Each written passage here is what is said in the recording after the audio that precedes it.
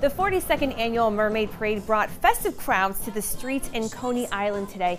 This is a hot ticket. Lots of people making out to this every year. And News 12's Lindsay Tanney was there also to see it all. Hey, Brooklyn, this is the greatest day of the year. Oh, we love coming. The Mermaid Parade draws a fun crowd. Oh, I'm Evil-Lyn from Masters of the Universe, an aquatic queen. I'm a mermaid. I'm a mermaid too. It's the country's largest art parade, and it's filled with creativity. Can you tell me about your outfit? My outfit is inspired by all the beautiful mermaids in this world.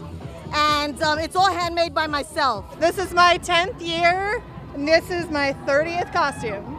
I make our costumes every year. I made it, but I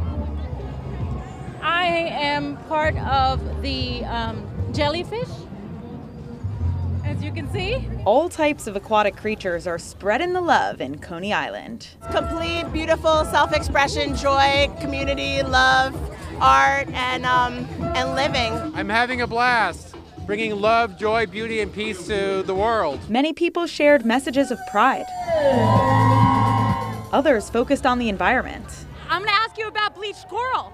So, bleached coral is an effective climate change. As water temperature rises, coral starts to get uh, very stressed. You keep your water clean, and then we can all live in it, and it'll be great. I'm like basically a mermaid trying to make the world a better place. But in the end, it's all about fun. I'm having an awesome time. I'm from Coney Island, and we love the Mermaid Day Parade. An annual tradition for 42 years, and by the look of things, it'll be around forever.